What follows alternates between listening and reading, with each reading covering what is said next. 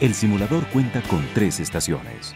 La primera es la estación del estudiante que consta de un puesto completamente adaptable a cada una de las máquinas del simulador, siendo fiel a los diseños de los vehículos de Itachi para que el aprendizaje sea lo más cercano a la realidad.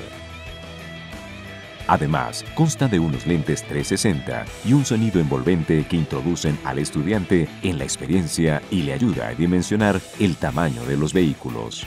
Todo esto frente a un monitor que le permite a quienes se encuentran en el simulador ser testigos de todo lo que el estudiante ve y cómo interactúa con la simulación.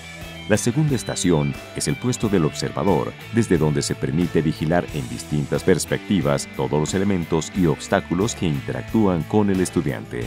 Y finalmente, el puesto del instructor, el cual le permite llevar un registro completo del estudiante graficando su desempeño en habilidades y horas de capacitación. Además, brinda un control total en la simulación, como la mina en la que se desarrolla, el clima en el cual tendrá que manejar y los obstáculos que tendrá que superar el estudiante durante la práctica.